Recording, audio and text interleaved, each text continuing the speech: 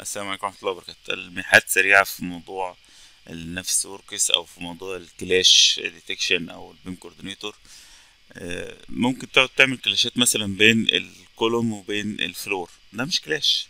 بين ال- ال slab مثلا وال floor. ما هو ده مش clash. تبدأ يعني حتى ممكن يكون في clash وهمي بس هو آه مش clash. تمام؟ هو في في غلط بسيط إن آه إن ده حصل مرتين بس برضه ده مش هو ده ال clash إحنا بندور على ال clash ات اللي هي ممكن توقف الشغل في المشروع. ده اللي إحنا بنركز عليه الحاجة اللي هي ممكن تعمل مشكلة ونلاقي فيها آه، مصيبة. تاني حاجة إحنا ممكن نبدأ بالحاجات اللي هي ال major قوي مثلا ال structure مع ال مع ال drainage لأن ال drainage بيبقى صعب التعديل فيه لأنه ميول وحاجات زي كده. ومثلا التكييف مع ال structure أو مع ال... يعني التكييف الاقساط بتاعته بتبقى حجمها كبير بالذات لو هو تكييف مركزي. ممكن برضو إن أنا لما أبدأ أبدأ بالمقاسات الكبيرة وبعد كده أبدأ أنزل شوية. يعني ممكن أشوف إيه ال clash ات اللي هي النص متر وبعد كده أبدأ آه، أقللها أقللها وهكذا. تاني حاجة ممكن أ save ال clash ات يعني بعد ما عملت clash ات كتير قوي أروح قايل له إيه لا save ها لي. export clash test بحيث إن أنا لو رحت مشروع تاني أقول له import clash test وأروح داخل على الملف اهوت واقول له open فيبدأ ي- يستدعوهم لي هنا وبكل بساطة ممكن تقول له أنا عايز أعمل update فيبدأ إن هو يعمل لنا ال clash عندنا برضو هنا في ال rules ممكن أحط قاعدة معينة مثلا إيه؟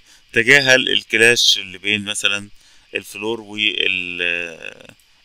أقول له new وأقول له specified selection set وأقول له ال set اللي اسمها مثلا كذا. ال set اللي اسمها نبيلة مثلا ومع set وهكذا. تقول مثلا ال slab مع ال column okay ما تعتبرهمش clash تجاهلهم فتقدر تعمل قواعد معينة فلو في أي مشكلة يروح إيه عامل حسابه إن دي آه، يديها لون أصفر إن ده مش clash. وبعدين لما بتعمل ال clash ات ويجي هنا النتيجة حاول إن أنت تعملهم في category تعمل group يعني ده group مثلا الحاجات اللي هي اتحلت ده ال group مثلا بتاعت الدور كذا ده ال group اللي هنناقشه أثناء الاجتماع. التقسيمة دي بتسهل علينا جدا أثناء المناقشة. ده أنا مش بتكلم على برنامج معين أي برنامج من البرامج اللي هتستخدمها لأن في برامج كتير. تاني حاجة الموضوع مش مش موضوع إن أنا أعمل clash detection وخلاص ما أي حد عنده البرنامج هيدوس عليه. موضوع إن أنت تبدأ تعمل بص هنا مثلا في حاجات طايرة فدي حاجة غلط خالص. تمام؟ يعني انت مجرد ان انت تعمل ثرو في قلب المشروع هيطلع لك بلاوي فتبدأ إن انت تنتبه للحاجات دي وتبدأ إن انت إيه؟ تدرسها. ممكن تلاقي مثلا حتة مثلا ما فيهاش آه، سبورتات أو ما فيهاش مثلا أعمدة معينة أو في حاجة ناقصة وهكذا. فده آه، لازم لازم يتعمل. إن انت تمشي في المشروع وتبدأ تشوف إن كان في مشكلة ولا لأ.